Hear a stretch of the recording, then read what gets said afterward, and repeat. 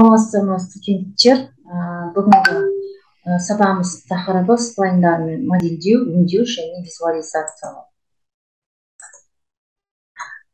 Дәрістің жоспары бірінші тдимакс жүйесіндегі сплайн түрлері сплайндарды құру процедурасы сплайн операциялары сплайн визуализациясы сплайн примитивтерін өңдеу сплайндарды 3D нысанына түрлендіру. Трдимак жүйесіндегі сплайн түрлері бізде сплайндар геометрия бөлімінен кейін орналасқан яғни бізде картинкада көрініп тұрғандай. Сплайн ол көптеген нүктелерден тұратын тегіс қисық сызық яғни ол командный панель да пәрмендер тақтасында сплайндармен жұмыс істеу үшін сплайн яғни оларда форма пішіндер бөлімінде орналасқан. Яғни біз оны создать ету арқылы оның командасына өтеміз оның бірінші бөлімінде пішіндер яғни формалар орналасқан. Екінші сплайн форма сплайндар үшінші бізде одан кейінгі курвес бөлімінде біркелкі емес рационал в сплайны деп аударылады. Төртінші кеңейтілген сплайндар жақсартылған сплайндар бізде одан кейін. Содан кейін бізде бағанағы картинкада белгілі болғандай жалпы қарапайым сплайндарға мысалға бізде мыналар жатады.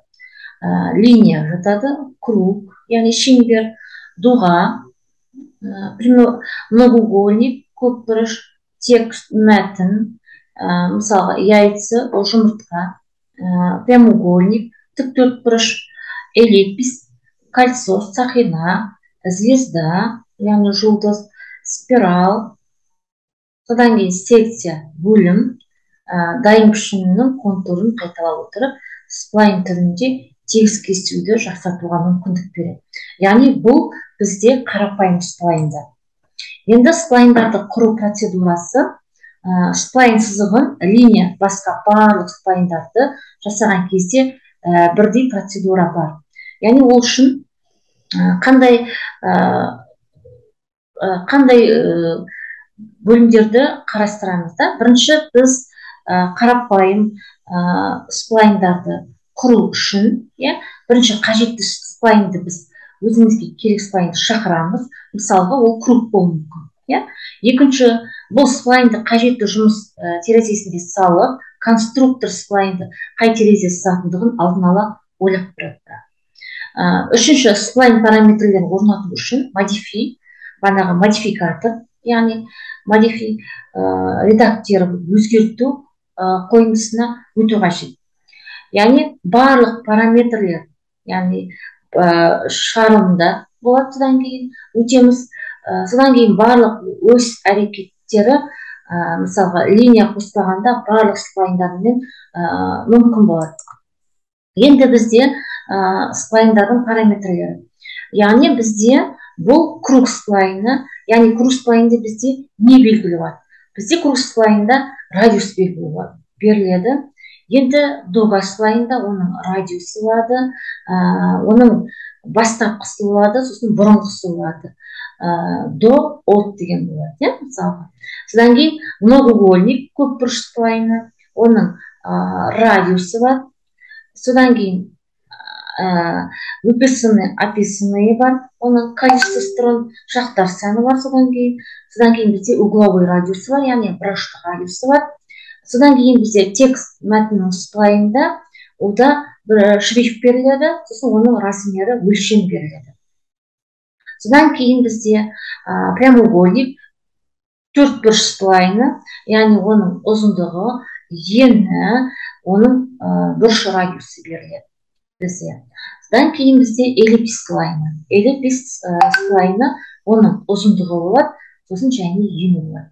Содан кейін кольцо сплайны оның радиусы болады. Радиус яғни бір сосын радиус екі. Яғни радиус бір дегеніміз ол сыртқы сақина радиусы болады. Радиус екі ол ішкі сақинаның радиусы болады содан кейін бізде ә, сплайнның параметрлері. Яғни бізде ә, сплайнның ә, параметрлері бар. Яғни звезда сплайны ә, ода нелер орналасқан? Ода радиус бір радиус екі бағанағы оның сәулелерінің саны болады содан кейін оның бұрмалауы болады содан кейін бұрыш радиусы болады бірінші иә? Содан кейін ә, бұрыш радиусы болады екінші. Содан кейін бізде ә, спираль не слайны яғни ода ә, бірінші радиус бір болады содан кейін барып радиус екіншісі болады соны оның ә, высотасы болады содан кейін барып бұрылыстар саны болады. Содан кейін орамның таралуы болады ол жерде. Содан кейін ә, бұранданы сағат тілімен яғни сағат тіліне қарсы бұрау ә, параметрлері болады. Яғни ә, бізде ә, сплайнды визуализациялауға болады.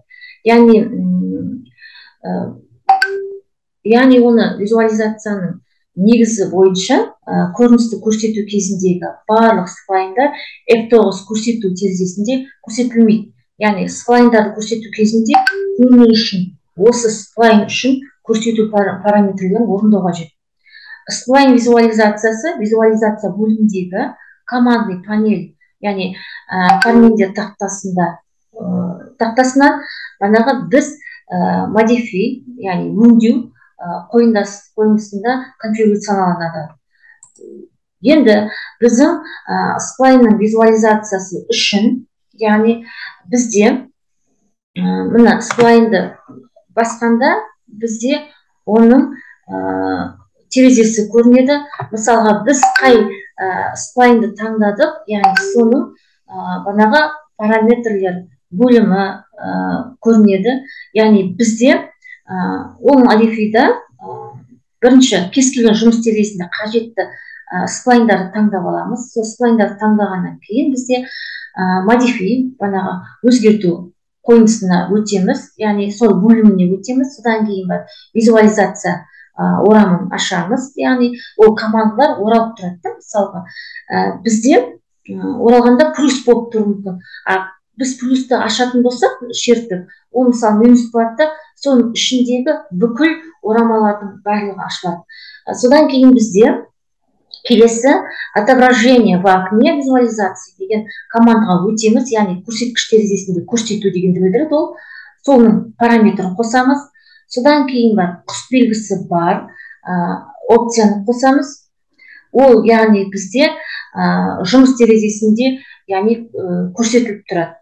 Енді әрі қарай бізде сплайн бөлігінің қимасы мен қалыңдығын орнатуға болады.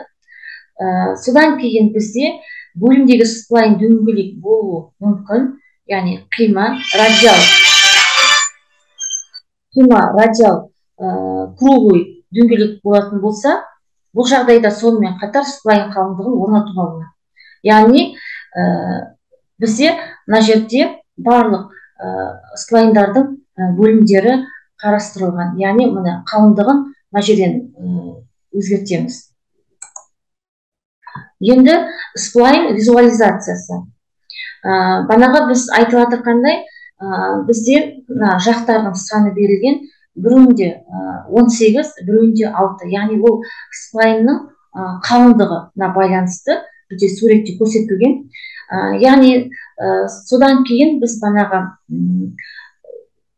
таңдап бана қалыңдығын бәрін бергеннен кейін біз тағы да операцияларды орындаймыз.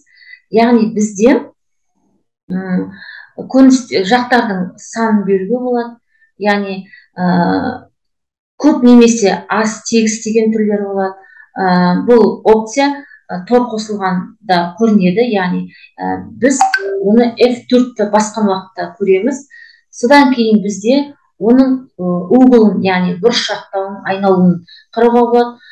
Бұл опция тор қосылғанда көрінеді яғни тор қосылғанда көрінгенде оны да F4 арқылы басу, арқылы тауып алуға болады.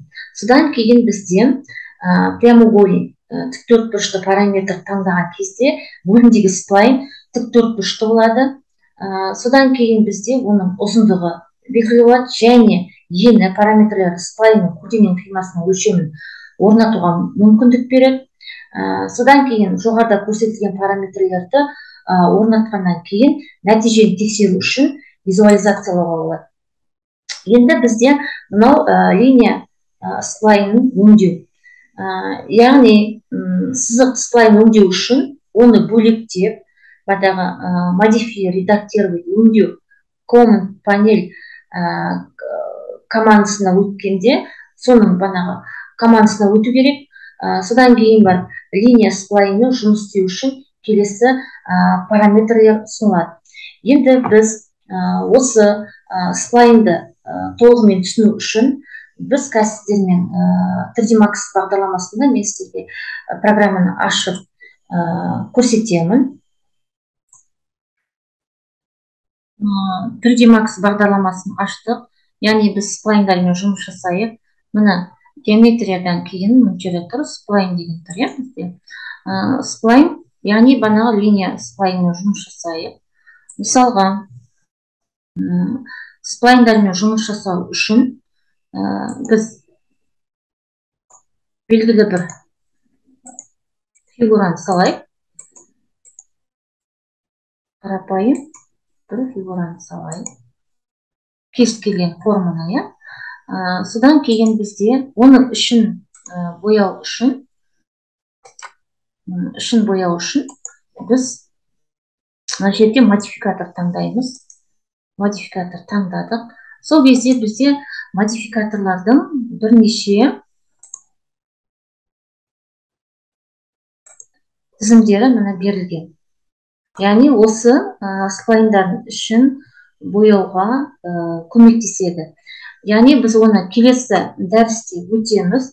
Яғни біздің сплайндардың орналасқан жері мына геометриядан кейін. Иә осы мында сплайнның бірнеше түрлері бар. Иә бізде банағы сплайндарды басқан кезде мына корнер модж мына корнер безе тұр ғой. Осыларды таңдау арқылы сіз текстей қылып линияңызды сыза аласыз. Майсын қылып. Ана бізде тіп әдемі емес болып шығып еді. Мысалға мыналарды екі нүктесін қосайын ба дейді да. Сау болыңыздар. Келесі дәрісте кездескенше.